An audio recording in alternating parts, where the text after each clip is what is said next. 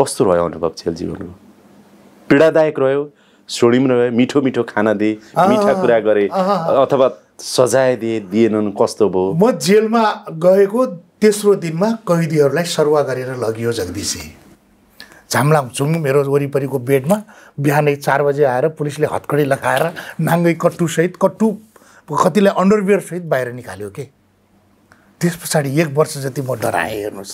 कति बेला पुलिस आउला र हत्कडी लगाएर लगाएर बाहिर लैजाला जेल सरुवा गरिदेला बडो डराएँ म होइन? हत्कडी चाहिँ लगाएरै राखेको थियो तपाईँलाई? होइन हत्कडी त लगाइहाल्छ नि। हत्कडी त सामान्य कुरा हो खानपिन कस्तो थियो?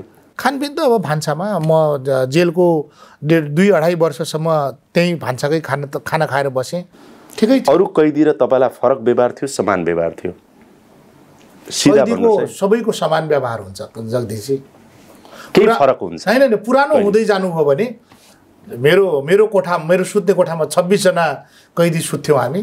त्यसको ढोकामा म सुत्थेँ। तपाईँ भन्नुहोस् के फरक र के राम्रो के नराम्रो। अहिले अन्तिम अवस्थामा शौचालय सबैले एउटै। एउटै पाँच एक दुई तिन चार म बसेको ब्लकमा पाँचवटा शौचालय थियो। हामी डेढ सयजनाले प्रयोग गर्ने शौचालय त्यही हो।